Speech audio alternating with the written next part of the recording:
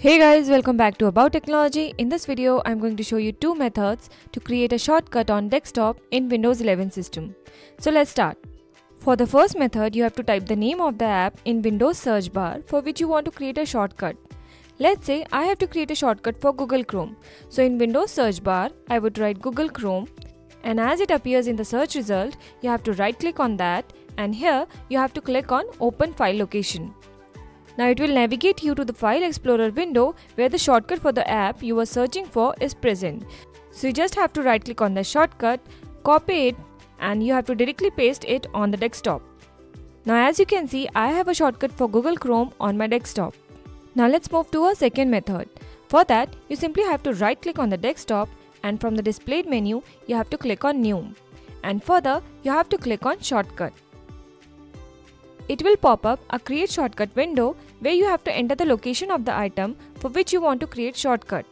Now to get the location of the item for which you want to create a shortcut, you simply have to search it on Windows search bar. Let's say this time I would search for WinRAR. Now in search result, I would right click on WinRAR and here again I would click on open file location. Now right click on the shortcut and here I would click on copy as path. Now get back to the create shortcut window and paste the location here. After pasting the path of the item for which I want to create shortcut, I simply have to click on next. Now, if required, you can change the name of the shortcut, but I would left it as WinRAR and I would simply click on finish. Now if you can see, I got the shortcut of WinRAR on my desktop. So these are two methods to create a shortcut on Windows 11 system.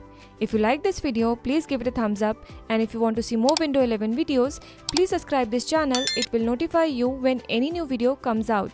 Feel free to comment below what other new videos would you like to see in future. Hope you enjoyed this video. See you next. Bye bye.